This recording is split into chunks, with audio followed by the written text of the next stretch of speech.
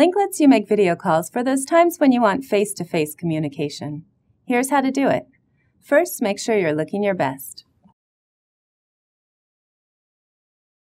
Then, point to the person's picture and click the camera icon.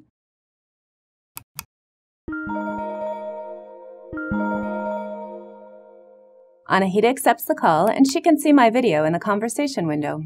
Hey, Alexandra. Hi, I'm just making a video about how to make a video call. Do you mind playing along? Of course, no problem. Now, if Anahita was not video capable or simply didn't want to share video, she could click reply with audio only. In that case, she would still see my video, but I wouldn't see hers.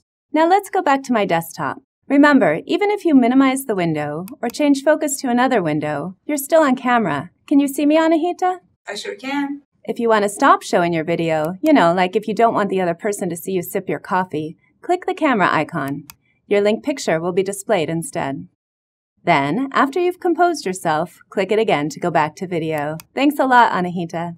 Are we done? Yes, why? Are you getting tired? Not really, but I'm suddenly craving coffee. Ah, the power of Lync.